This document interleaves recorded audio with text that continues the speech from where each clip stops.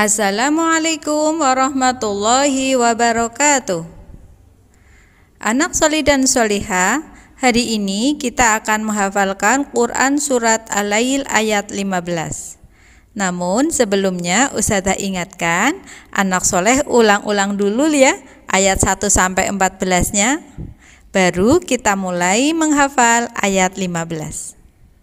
Yuk, kita mulai ayat 15-nya. أعوذ بالله من الشيطان الرجيم بسم الله الرحمن الرحيم لا يصلها إلا الأشقى ulangi la yaslaha illal ashqa.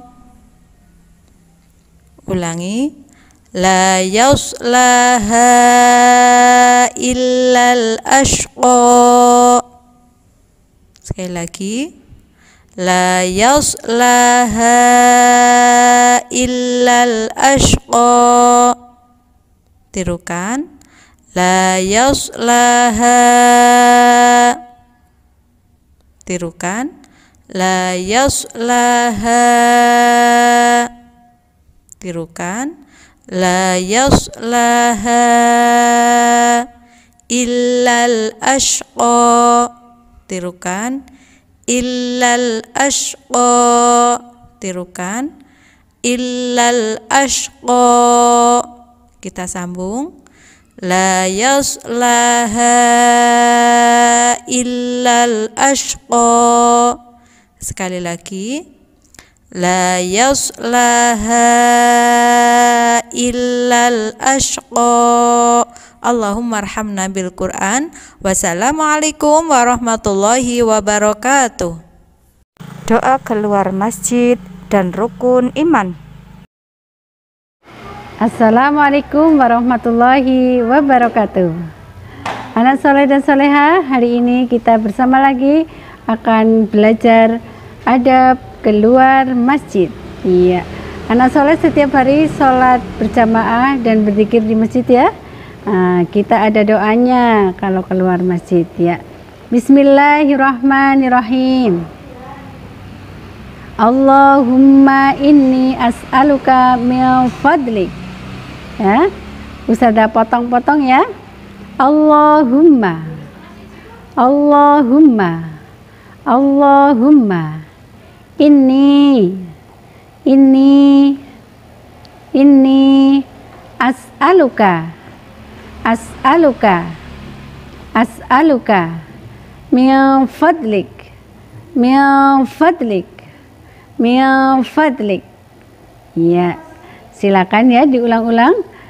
Artinya, Ya Allah, sesungguhnya aku minta kepadamu dari karuniamu. Ya, anak soleh apabila selesai sholat, rapikan alat sholatnya, kemudian keluar tenang-tenang dan keluar dengan kaki kiri. Ya, setiap hari kita ke masjid anak soleh karena tempat yang dicintai Allah adalah salah satunya masjid. Selamat belajar, semoga menyenangkan. Wassalamualaikum warahmatullahi wabarakatuh. Rukun iman. Rukun iman ada berapa ya anak soleh soleha? Betul, ada enam. Yang pertama, iman kepada Allah. Kedua, iman kepada malaikat. Yang ketiga, iman kepada kitab Allah. Yang keempat, iman kepada nabi dan rasul. Dan yang kelima, iman kepada hari akhir. Terakhir yang keenam, iman kepada takdir.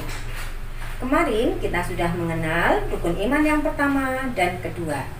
Hari ini kita akan mengenal rukun iman yang ketiga, iman kepada kitab Allah. Yang berarti anak soleh mematuhi dan mengamalkan ajaran yang ada dalam kitab tersebut. Nah, kitab Allah yang perlu kita ketahui dan kita imani ada empat. Yang pertama, Taurat, yang diturunkan kepada Nabi Musa alaihi salam. Yang kedua, Zabur yang diturunkan kepada Nabi Daud alaihi salam. Yang ketiga, Injil yang diturunkan kepada Nabi Isa alaihi salam. Dan yang keempat, Al-Qur'an yang diturunkan kepada Nabi Muhammad Shallallahu alaihi wasallam. Mencintai Al-Qur'an dan mengamalkannya sebagai pedoman hidup adalah contoh kita mencintai Al-Quran. Nah, untuk itu anak soleh soleha rajin mengaji ya. Terima kasih. Wassalamualaikum warahmatullahi wabarakatuh.